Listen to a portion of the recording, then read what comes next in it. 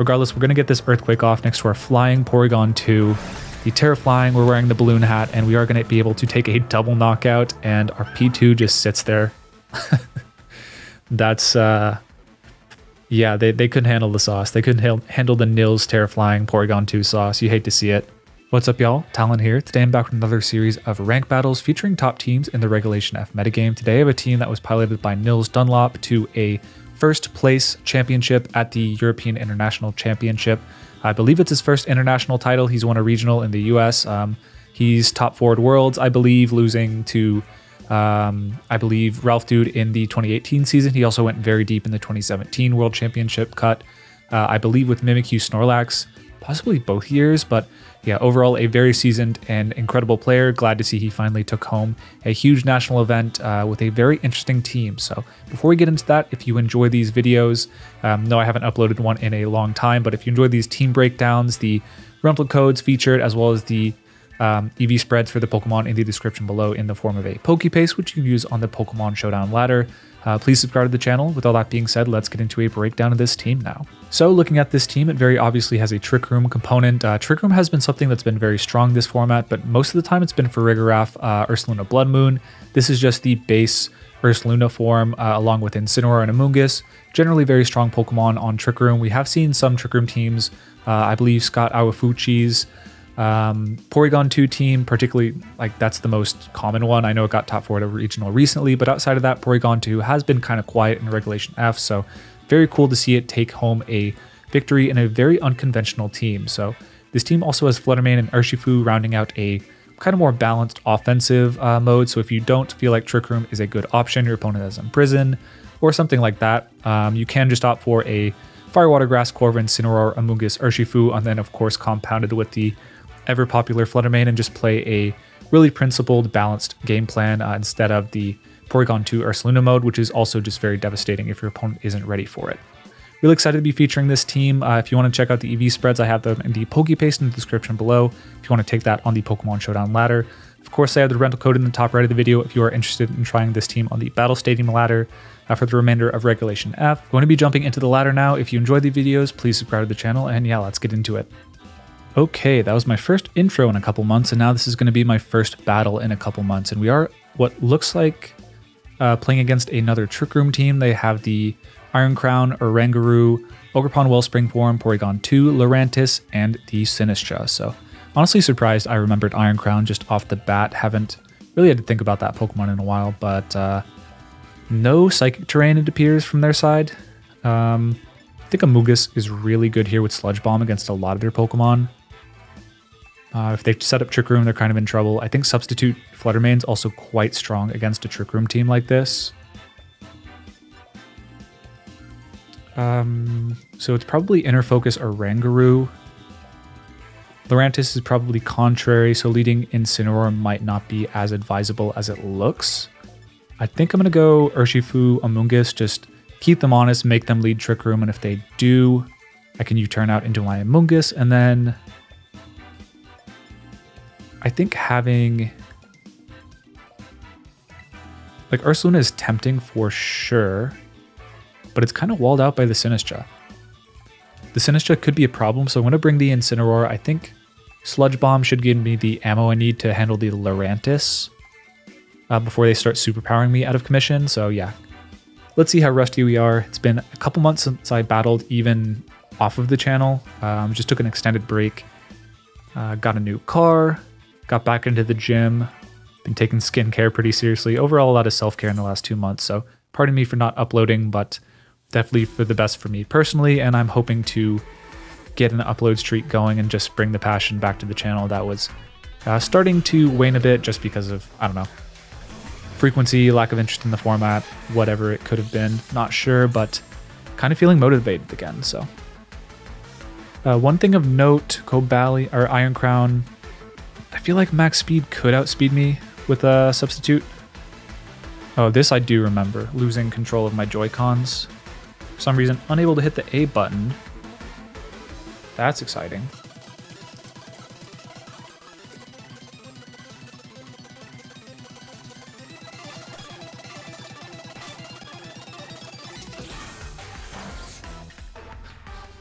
Okay, so excitingly, uh, apparently I forgot to charge my right Joy-Con, so couldn't hit the A button at all. Very cool. Uh, wanted to switch in Incineroar, but ended up switching the Amoonguss. I think that might actually work out better for me here.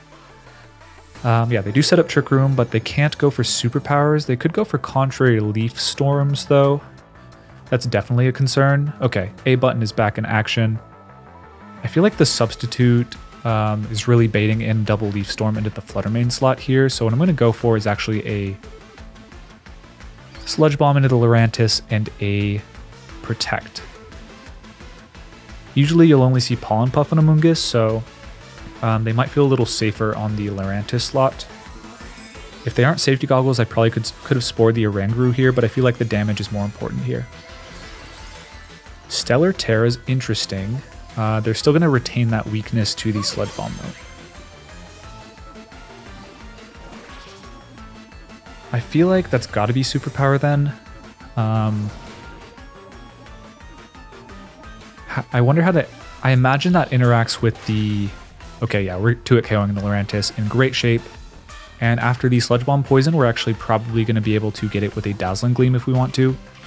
Uh, actually, not quite after a Citrus Berry, I'd imagine, but still pretty close. Tera Blast on the... Okay, yeah. So very glad I protected there. I thought Leaf Storm was a little more likely, but I think this works out fine. Oh, there was no way that was going to break my... Yeah, why'd they do that? Do they only have fighting moves? It could be like Superpower Tera Blast. I don't know. Weird. Uh, we do have a knockout with the Sludge Bomb. I think Double Leaf Blade could knock me out still, so what I'm going to go for here is a... Um, not a ton of turns of Trick Room left. I think I'm going to Moonblast. Oh, I don't even have Dazzling Gleam, right? Of course, that's the trade-off for the substitute. I could Spore them. I don't think that's in my best interest necessarily. Yeah, I think what I'm gonna, what I'm gonna go for is, yeah, the Sludge Bomb into the Lurantis, take that knockout, and they did do a lot of damage with the Psychic on the Amoonguss there, but I think that's a trade I'm comfortable with, trading the Amoonguss for um, still having my substitute on the Flutter Mane and knocking out the Oranguru, installing a couple turns of Trick Room. Uh, unfortunately, I do lose one more Pokemon with the ability to go for Protect to stall out the Trick Room, but I think that's a fair trade, uh, especially with my Flutter Mane still sitting relatively healthy and ready to go for the rest of the battle. So that's three turns of Trick Room gone. Interesting strategy. Um, so they... I, hmm. I'm not really sure what the Lurantis is going for there with the Terra, Tera Stellar. It's quite interesting. So we are seeing the Iron Crown and the uh, Sinistcha totally fine. I think we'll still underspeed.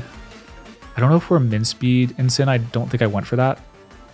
Yeah. I think regardless, that's fine. We should just be able to go for a... Uh, Tera Ghost could be something, but I doubt it. I think it's safest to go for knockoff.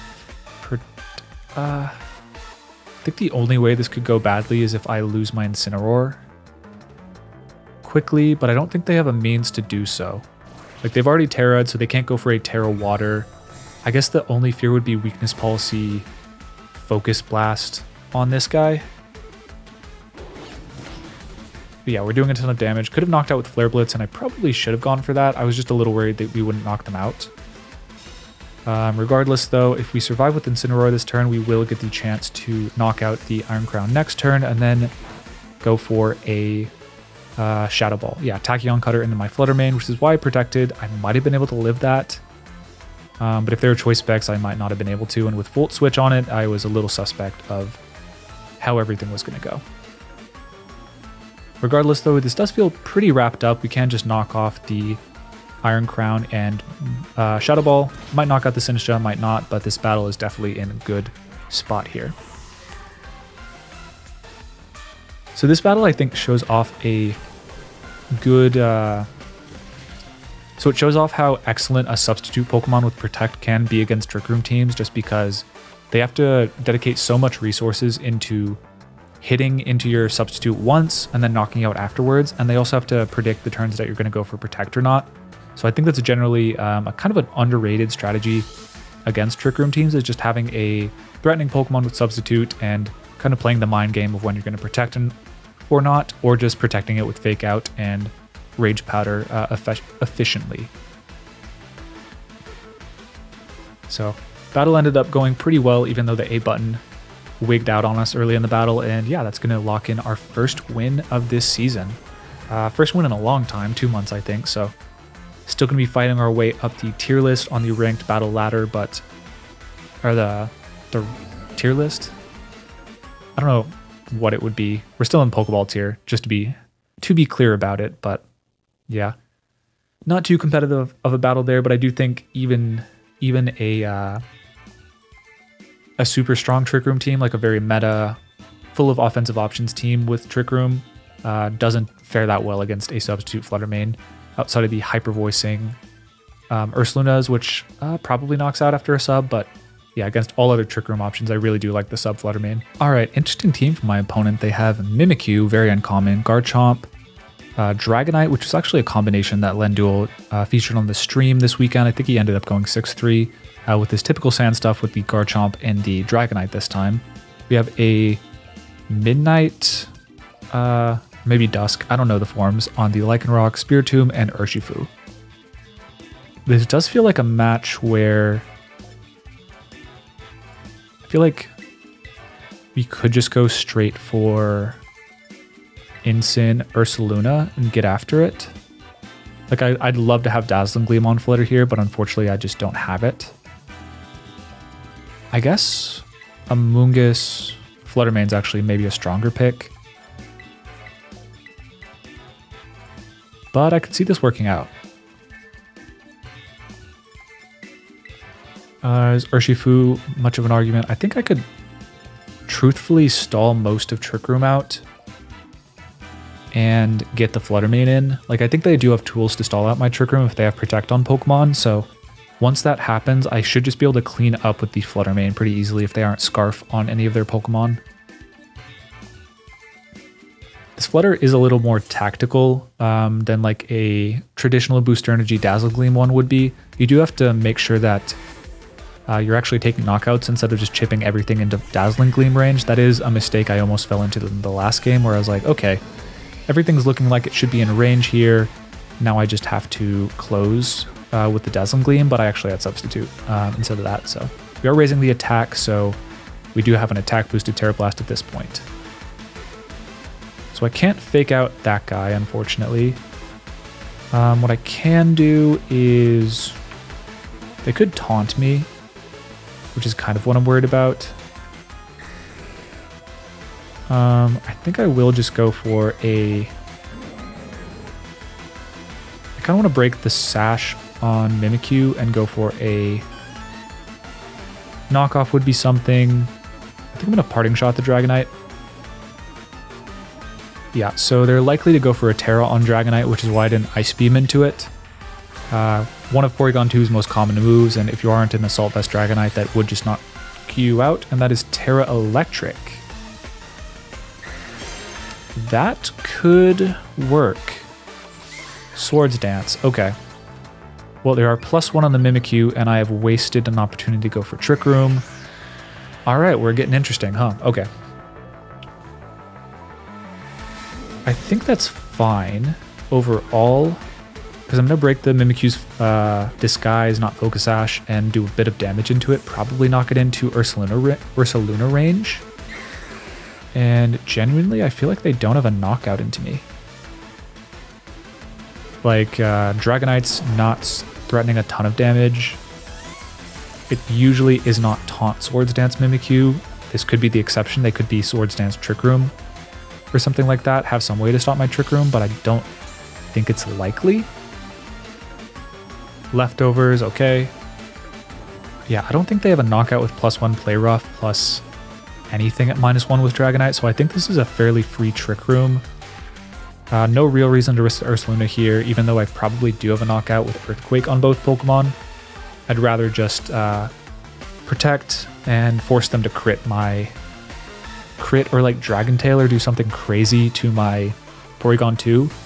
Regardless, even if they do knock out my P2, I do get an Incineroar switch in to bring them back down to neutral, or I bring in my Flutter Mane and then just go for a Protect Earthquake, which, yeah, I lose my P2 in the process, but pretty unlikely for that to happen. Okay, yeah, very glad I didn't leave the Ursaluna up to... Wow, Inner Focus Special Dragonite? That's very weird. Not insane, but definitely one of the weirder things I've seen. So Mimikyu all the way back up to full HP. Is there any reason to preserve my uh, Tera Ghost? I think no. Yeah, I guess the Urshifu could be an issue, but I don't know. I feel like this is definitely the opportunity to go for the Tera Blast Earthquake combination. We do have the plus attack boosting nature, or the plus attack, so it is going to be hitting on the physical offensive side. I actually don't know which of Mimikyu's defenses are naturally lower, but I do think, hmm, I wonder if I should be running my P2 slower than the Ursaluna. Regardless, we're going to get this Earthquake off next to our Flying Porygon 2. The Tera Flying, we're wearing the balloon hat, and we are going to be able to take a double knockout, and our P2 just sits there. That's, uh, yeah, they, they couldn't handle the sauce. They couldn't ha handle the Nils Tera Flying Porygon 2 sauce. You hate to see it. Yeah, that just shows the potency of that combination. Yeah, horrible communication error. I'm taking the double knockout with such offensive power on the Ursaluna and then just not even having to worry about the damage on our own Pokemon. So normally you need a Cresselia to do that sort of thing, but Nils found another way to run an even bulkier Pokemon while still having that uh, effective ground type immunity. Okay, opponent has a team that looks, I think, the same as the one that uh, won the first regional in Regulation F by Alex Underhill. So it is a very physically offensive team. They have the Chien-Pao, Entei, Raging Bolt, Flutter Mane, uh, Dragonite, and the Ogerpon. So, um, on the bright side, I feel like Ursaluna this this team did very well before Incineroar was really taking over, so I think we do have some advantage in that regard. Um, have reason to worry about the Raging Bolt because it is safety goggles on this team, so not able to fare that well. I do think I'm going to go for the Trick Room mode right here. It feels pretty strong. Um, yeah, I think Flutter Mane's pretty good too, even though, like, I could go Amoonguss, but I feel like Ursaluna is my best bet here. Ursaluna, obviously, in the Trick Room mode is going to be my best bet. The only question is Flutter Mane or Amoonguss. I think against these sort of teams, like Flutter Mane tends to be very strong against uh, Chien-Pao Dragonite, just because if you can force them to lock into a Choice Band at extreme speed, which they often will try and do against a Trick Room team, you can get into really solid positions from that state. If they lead Chien-Pao Dragonite, it is a bit of a weird spot where they can... Well, I guess they can't go for Tera Normal Extreme Speed and go for a Tera Ghost to dodge a Fake Out. So we'll see how it goes. Entei Chien-Pao is interesting. I don't remember what this Entei set is, but I feel pretty happy about this lead, honestly. Um, I don't want to hard switch the Incin. I think it might be Assault Vest on the Entei. We do get attack raise, which is unfortunate. Because we would hit a little stronger than the Chien-Pao with the other one, but regardless, I think this is going to be a pretty safe Trick Room parting shot, unless they have some new techs that weren't on the original team. Regardless, I do think getting a parting shot into Entei is nice, bringing it down to minus one that the inner focus was able to dodge, and bring it to parity with the Chien-Pao and maybe tempt them not to Tera it in front of the Ursaluna when I bring that in. That could be of value too. They are switching out the Chien-Pao, so could have gotten a pretty valuable parting shot into that, but it is going to be the Raging Bolt. That is not an issue at all. So Sacred Fire into the P2, good damage from them. And they are going to lock in the burn, which is a little annoying because my Tera Blast I think is based on that right now. Uh, parting shot into the into that would have been pretty valuable, actually. Okay. So I don't think a Facade is going to knock out the Raging Bolt. I... Yeah, just automatic going to the, the Ursa here. And there is the Trick Room. So I could Earthquake, knock out the... I feel like what's going to happen here is they're going to go for a... Tera on the Raging Bolt offensively. I am burned on both my Pokemon here. I feel like preserving P2, like Ice Beam is not going to do a lot if they Tera. I think they're Tera Fairy generally on this sort of team. Um, yeah, if that hadn't burned, I maybe could have gotten a knockout with the Facade, but now it's looking pretty unlikely. I think I want to protect switch to Incineroar. I don't think there's a lot of damage coming Porygon 2's way this turn. And I feel like a Draco Meteor into my Ursaluna could be pretty annoying. I guess I'm used to... Um, I tend to be... I've seen a lot more Blood Moon Ursaluna in the past couple months than the than this one, so I'm used. I have forgotten that this one actually has pretty solid special defense, so... Oh, interesting. Taunt. Huh. They expected Swords Dance or something, I guess, but I had a knockout there which is interesting. Um, weird. I do feel like we just have a knockout with Facade into this guy. Could be wrong. Surely Facade knocks it out, right? They didn't tear that turn though. They switch in Dragonite, I'm fine with it. I think I'm to go Headlong Rush and slow play this a bit. Or fast play this turn, I guess. But yeah, they didn't attack, or they didn't uh, Tera with their Entei, which is fine. I'm going for the Headlong Rush just because I think it's Assault Vest, and if it has enough bulk to lift Facade, I really don't want to take a Stomping Tantrum or anything this turn. Regardless, we are going to get a little bit of damage into that Raging Bolt and see if they are leftovers. I don't think they were Taunt originally on this team. I think it was Thunderbolt, Thunderclap. And yeah, no leftovers, so probably still safety goggles. Uh, they are wisely preserving their terastallization, which is annoying for sure. I have enough turns of Trick Room left to where I feel confident going for a... Oops, not that. I'm going to switch into P2 and slow play this, like I said, and go for a parting shot into... Um, hmm. I guess Flare Blitz is pretty potent as well. I don't think a Sacred Sword's going to knock me out.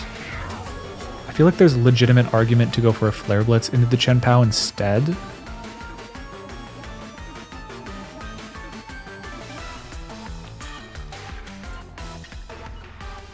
Uh, yeah. Weird spot. I think the Raging Bolt isn't really a threat to my Flutter Mane, and at this point, I feel like Flutter Mane could be a better win condition than Ursaluna once Trick Room ends. Like, uh, if I can beta Tera from any of their Pokemon, I'll just 1v1 the... We do get the special attack raise this time, which is valuable. They do switch that out, okay. So the parting shot into the Chien-Pao is definitely looking good. They have the Ogerpon, so... Overall, yeah, Flare Blitz maybe would have been better there, but I think overall not the end of the world. I think I can provide a lot of pressure going into um, Ursaluna. Like Flutter Mane would be fine once Trick Room but I don't want to have to switch in and out and lose my booster energy essentially. So I'm going to go for the non-committal option, the Ursaluna. Yep, there is a Sacred Sword. Glad I parting shotted that. And now I should have a fairly free recover facade or facade um I think this is a free recover switch. So this is really one of the an example of how this team can function on such a high level. You have a Pokemon as bulky as Flutter Mane uh, and Ursaluna, so you can switch those out in a fair bit, even if even as they're taking chip throughout the battle, and still pose a threat to either do a ton of damage with the Ursaluna instantly, um, with the Guts Flame Orb option, or just recover and then go for multiple Trick Rooms with the uh, P2. So they're going to follow me, which is interesting. I don't really... I think they did just have a double protect there pretty free, but now their Chien-Pao is doing very pitiful damage and they are yeah, Ice Spinner, that's not going to work. So I think this is just the team functioning how it's meant to do. The P2 Incineroar Ursaluna mode can be really, really annoying, especially when you have an all physical team like this. I think at this point, Trick Room is a really solid option. Fake Out feels pretty free into the Ogerpon. I am Citrus Berry on the um, on this guy.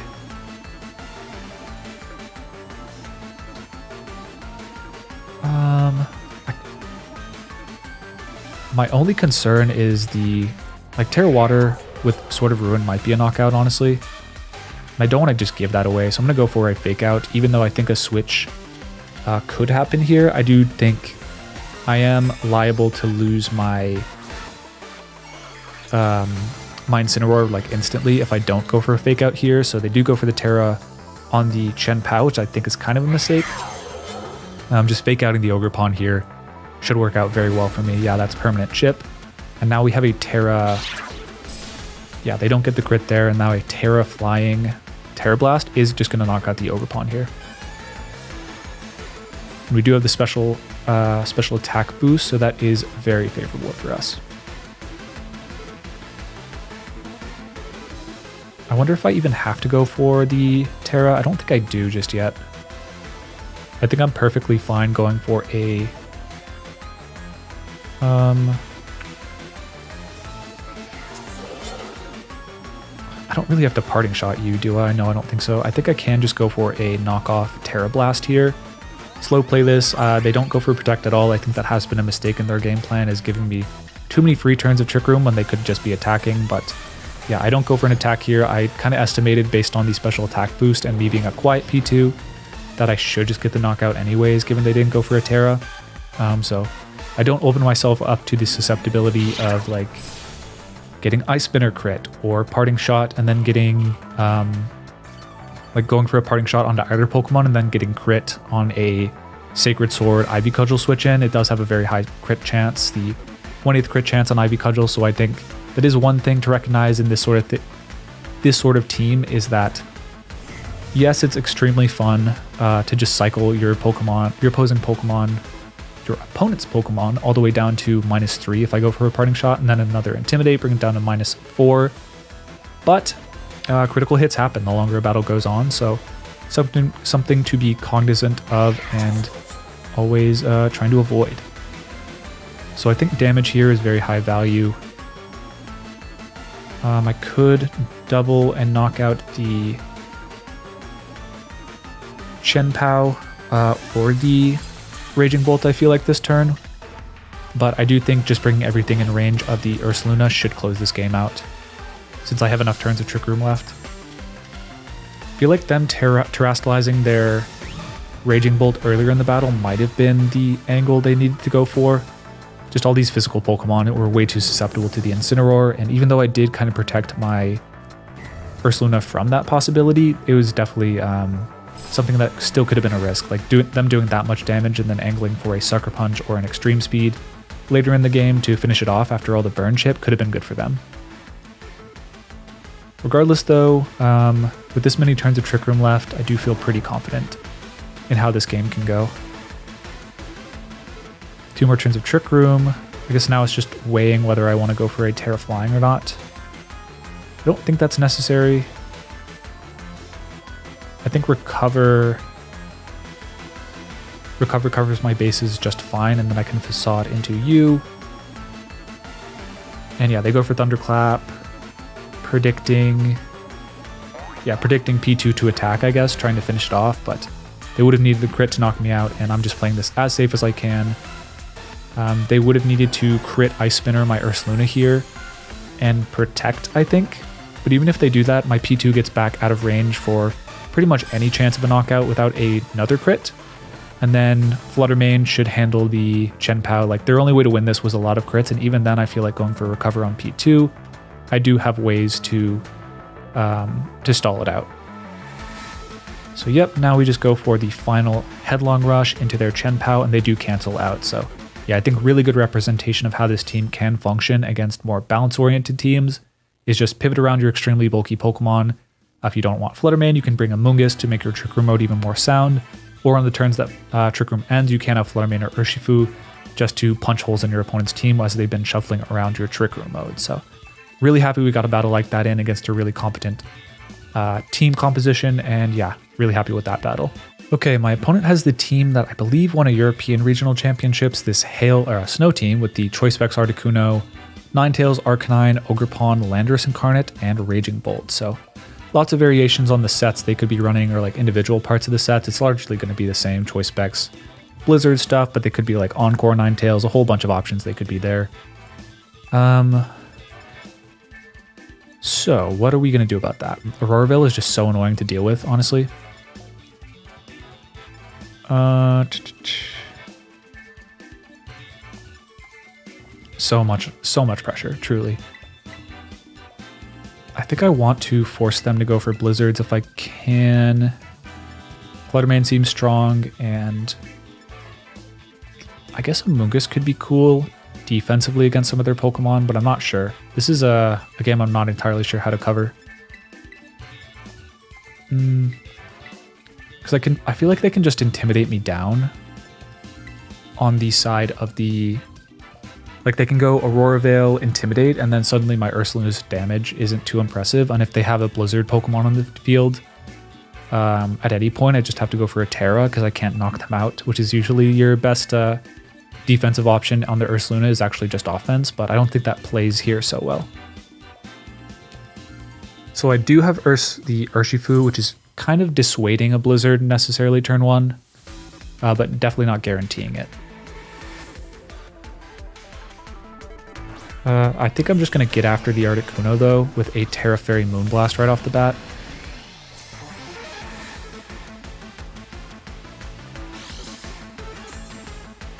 Yep, so we are seeing the Snow Warning activate before my booster energy, which is quite bad, actually. I think that's how it works. Like, I feel like the abilities always activate first, but I'm not certain of that.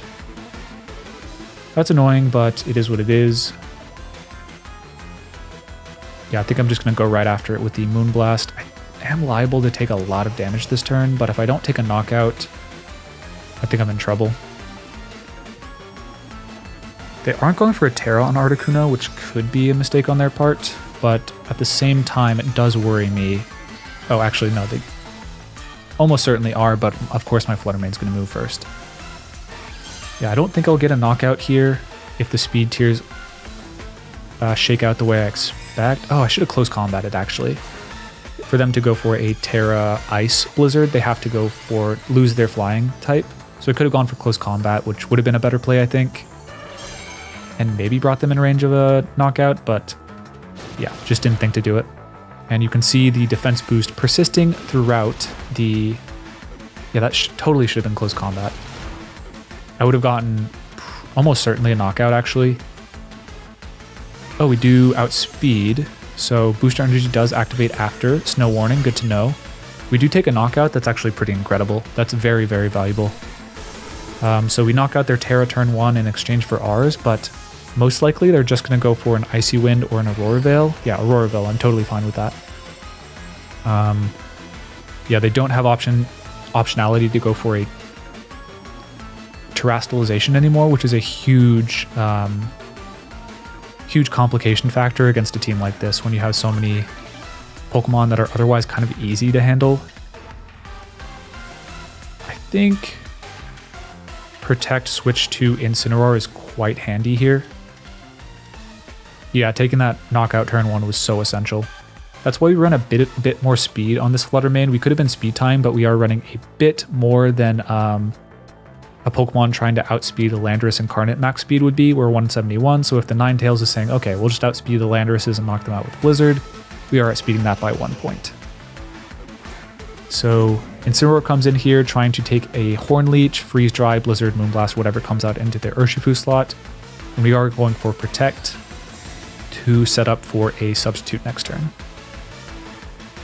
So there is the Spiky Shield, which makes our next turn way easier. I don't think a Blizzard has a chance to knock out our Flutter Mane. Uh, our flutter Fluttermane substitute. I doubt it. I imagine they're pretty bulky and not a lot of offense, so we're to go for Fake Out into the Ogerpon and sub. And if we do... Okay, yeah, we're doing a bit of damage, which could prove to be valuable in the end game. We'll see. But yeah, we're taking out a pretty big sub here. 41 HP. I imagine I survived the blizzard, but I'm not certain about it.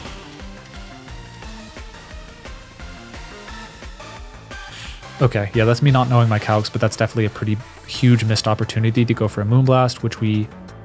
Uh, yeah, that's bad. Okay. No... No if, ands, or buts about it. That's not good. I think we should live an Ivy Cudgel, though. So we just have to chip this guy down a little bit. And who could they have in the back? Um, I don't love taking a Blizzard on Amoonguss, but I think it might be necessary.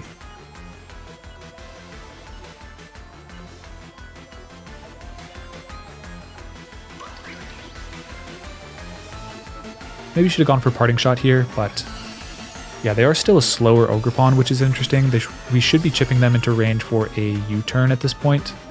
They're going to Cudgel into the Incineroar, so yeah, we should have switched out into the Amoonguss, but given we have the Sitrus Berry, uh, I feel reasonably happy about this.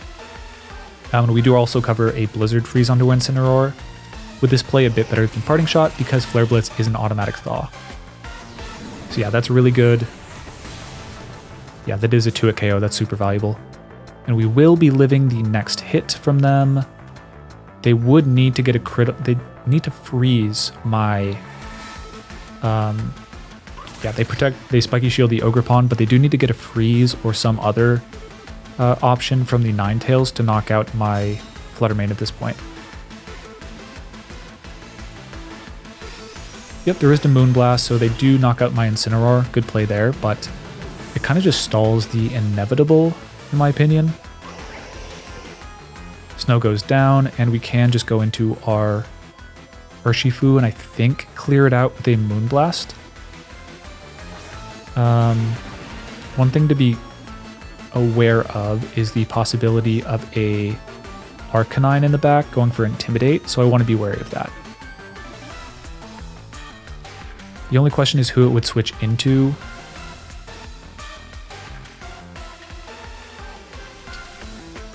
Um, hmm.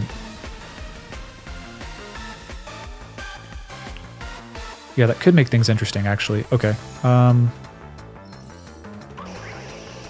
I kind of want to substitute. I'm not sure if that's wise, though. I think I'm going to go for just Moonblast U-turn. Maybe it should have been Shadow Ball into the Ninetales, I'm not sure. Yeah, they are switching something out. But it is the Ogerpon, so I think we do call this turn at least somewhat right. Oh, it is a Landorus, so yeah, we, we should be covered, actually. That covered close combat and U-turn very well, but I think we do still get this knockout onto the Ninetales, and Amoonguss seems pretty primed to close this out. Given they'd have to be Psychic on the Lando to beat me. Uh, beat me fast enough for me not to beat their Ogerpon, I think because now my play gets pretty simple with substitute because I can go for um like they have to knock out my they have to double into my Flutter Mane to knock it out and uh, should I go for protect here? I don't know. They basically need to two-hit KO my Amoonguss to not let the Ogerpon go down but they also like they really need to be taking knockouts very quickly here. But if I go for a substitute, I'm either saying, okay, you can take my Amoonguss, but you give me substitute, or you can knock out my substitute and you gain no ground on Amoonguss. So, yep, there is the substitute or the um, there is that play. But now what I can do is, I guess I could protect this turn. I don't know force them to go for a double protect. Is there any reason to do that? Yeah, definitely. So we're about to stall out Aurora Veil at this point, which is really high value. Uh, they need to get a double protect or a crit earth power to deal with my Amoonguss at this point, but they don't get that. They need to have Psychic here, which they might not have. Yep, there is a Sludge Bomb, so maybe could have played this turn, played this a little more optimally, but I'm trying to do coverage for like random stuff like Psychic uh, or Sand Sandsear Storm, I think, would maybe be a way for them to win if they knock out Flutter Mane. And I don't knock them out with Moonblast because of Aurora Veil, so with just stalling that last turn out, I feel like Substitute definitely gives you a lot of options in this sort of endgame, and we should just have this with Moonblast Spore. But yeah, good game to them, but I do feel like um, that first turn, they just committed very hard to the um, I guess, to their Articuno. I think I should have gone for a close combat in the case where I'm not getting they disconnect for some reason. Don't want to see the last animation, I suppose, but I do think that close combat was a little better for me just because of all the potential switch-ins they have. Like I handle Ogerpon better than if I Surging Strike. I handle Arcanine, I handle, I guess not Raging Bolt, but I'm still covering that with Moonblast. So I think that was a misplay on my first turn. But outside of that, I feel pretty good about how that game went. Uh, I'm not sure this team has a ton of game into, or like a, a ton of consistent game into Snow. That feels like it could be a kind of a problem matchup, but we were able to solve it in this case and go a little aggressive and close it out uh, turn one, just dealing with their most offensive options. So that is going to do it for our battles today, featuring Nils Dunlop's very cool P2 Ursaluna team that he was able to take first place in their European International Championships with. If you want to use the team for yourself, I have the Pokepaste with the EV spreads for use on Pokemon Showdown, as well as the uh, rental team for use on Battle Stadium in the top right of the video, as well as on the, in the team description below. Follow him on Twitter. With all that being said, hope you guys enjoyed the video. Please subscribe if you did, and peace, y'all.